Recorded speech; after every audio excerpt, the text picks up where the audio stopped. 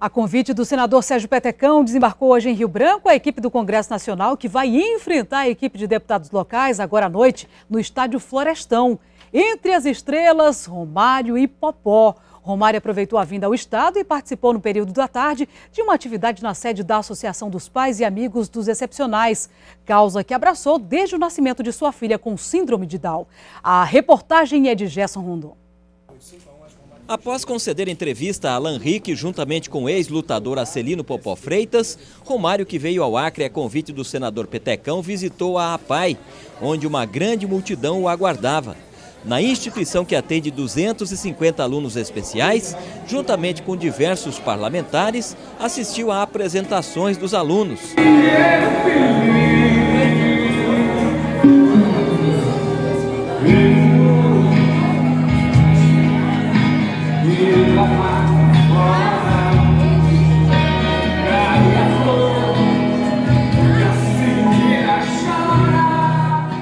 E não conseguiu segurar a emoção. A coordenadora técnica ressaltou as dificuldades em manter a APAI. No início, em 1981, foi realmente muito difícil, porque o preconceito e a compreensão de todos sobre o que era uma pessoa com deficiência, que era tido como um doido, um louco, um anormal, ele é, era muito forte.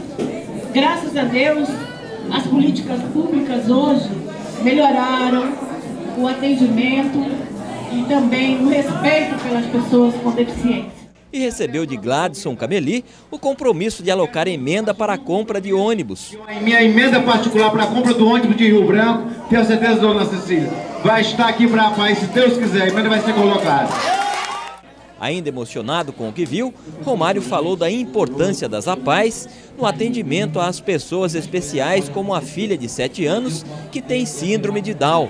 Eu sou muito mais feliz hoje, depois que eu tive meu anjinho, do que, do que eu era antes. Então, ser pai de uma pessoa com deficiência, ser pai de um especial, nos torna muito mais especiais. Durante o tempo em que permaneceu no local, Romário foi o centro das atenções. Todos queriam uma foto ao lado do ídolo. A visita foi encerrada com a inauguração do Laboratório de Informática. Um marco na história da APAI, disse Cecília. A preocupação dele, em razão até de ter uma filha que é especial, tem contribuído para que outras entidades, outras pessoas também possam ver a importância da instituição APAI? Ah, claro. A, o, a nível nacional, né, o Romário já contribuiu com a paz de Minas, com a paz de outros estados, né?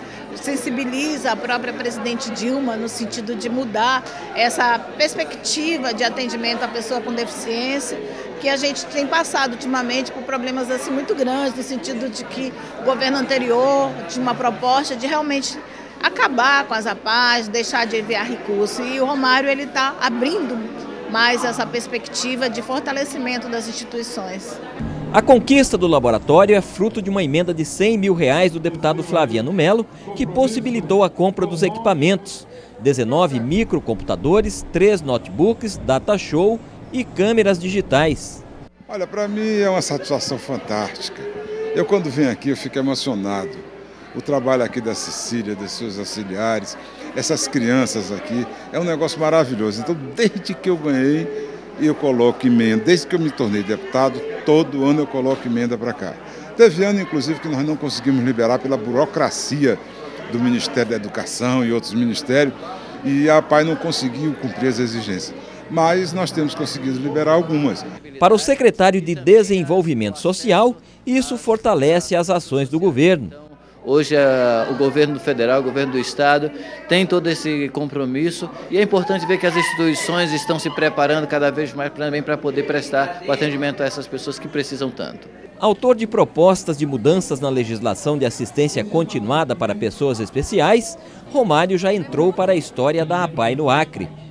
Além da alegria, alunos, funcionários e professores aqui da APAI, Romário também comprometeu-se em ajudar, propondo emendas parlamentares à instituição.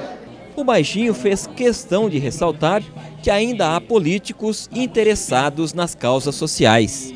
Apesar que nós políticos somos é, mais conhecidos pelo lado negativo do que do lado positivo, mas existem ainda políticos que são sérios é, nas suas palavras e na sua luta. Deputado Fabiano aqui, do Acre é um, deputada Perpétua, que está presente também. Eu quero dizer que, enquanto existirem lá na nossa casa pessoas que lutam por causas como essa, vocês podem acreditar que a gente vai tentar sempre, da nossa forma, do melhor jeito possível, fazer um Brasil cada vez melhor, principalmente para essas pessoas.